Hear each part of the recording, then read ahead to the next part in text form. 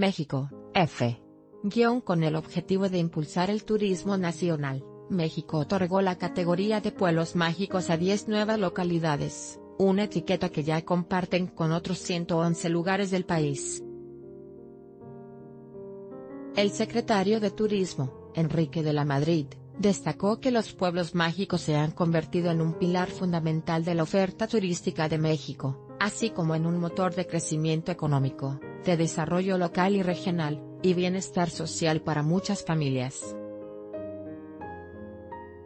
Las localidades a las que se le ha otorgado este nombramiento cumplieron con todos los requisitos que establece el programa, creado para destacar a aquellos pueblos con atributos simbólicos, leyendas, historia y hechos trascendentes que los hacen atractivos para el turismo.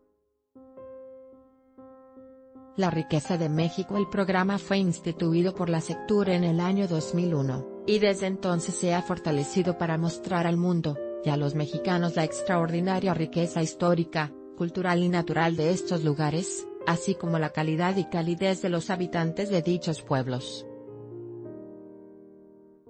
Durante este sexenio, 2012 y 2018, el gobierno mexicano ha lanzado dos convocatorias en las que se han evaluado 159 localidades que expresaron su deseo de convertirse en pueblo mágico. Asimismo, se han invertido 3.400 millones de pesos, 180 millones de dólares, de forma conjunta con estados y municipios para proyectos de mejora en las localidades, como cableado subterráneo, mejora de imagen urbana, mercados y señalización turística, nuevos pueblos mágicos Tlaquepaque, Estado de Jalisco Comonfort, Guanajuato Melchor Musquis, Coahuila Guadalupe, Zacatecas Compostela, Nayarit Zimapán, Hidalgo Nombre de Dios, Durango Amealco de Bonfil, Querétaro Aquismón, San Luis Potosí Bustamante, Nuevo León.